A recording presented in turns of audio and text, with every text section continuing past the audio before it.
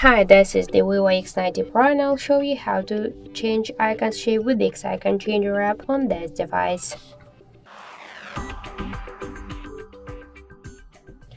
So first open the Play Store and in the search pool enter the X-Icon Changer.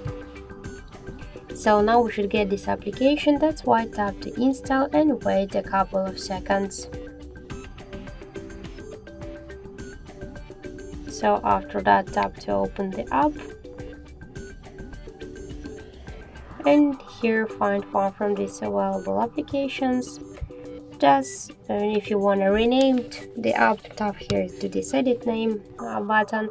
Here you'll see the uh, library with different icons. You can use them or just to use photos from your device gallery or to take a picture right now in camera app.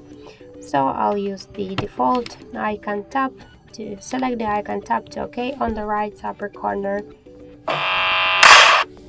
and just wait a couple of seconds.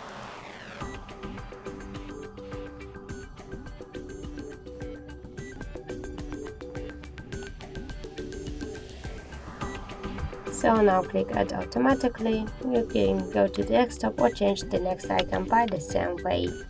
So let's check the new icon. So this is the new contacts icon and this is the default one. That's it. Thank you for watching. And if you find this video helpful don't forget to leave a like comment and to subscribe our channel